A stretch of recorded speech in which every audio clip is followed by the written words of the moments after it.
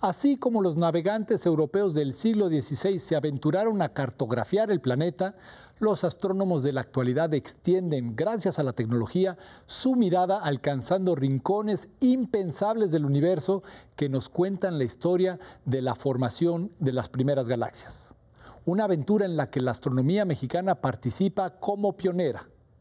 Veamos de qué se trata. México tiene valiosas zonas radiosilentes desde las cuales con los instrumentos adecuados podemos detectar una parte de la historia del universo que sigue siendo una incógnita. De eso se trata el proyecto Sci-Hi en la isla de Guadalupe, en la península de Baja California.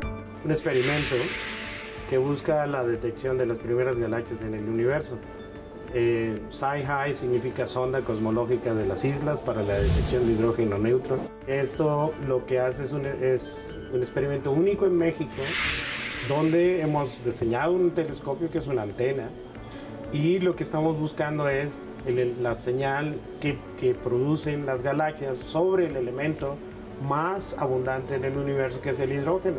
apenas 180 millones de años después de la, la, la, gran explosión. Una oportunidad dentro del territorio mexicano que permite replantearse las formas de hacer ciencia y maximizar recursos naturales, humanos y tecnológicos. Las islas son parte de un patrimonio que se llama la zona económica exclusiva, de la que poco eh, beneficio sacamos. Ya tenemos una antena de diseño propio, que eso pues ya es nuestra contribución.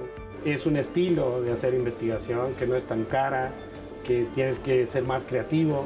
Lo, lo, más importante es de que pues esta es la zona, si estamos creando el mapa de la evolución del universo, esta zona ha permanecido eh, sin explorar, o sea, es tierra, incógnita, ¿no? Entonces tenemos, es, es, es, el premio es muy grande para entrar y descubrir. Lejos del ruido y contaminación de las grandes ciudades, los cosmólogos y científicos de México, Estados Unidos, Sudáfrica y Argentina encontraron un oasis para revelar los secretos escondidos en la etapa oscura del universo.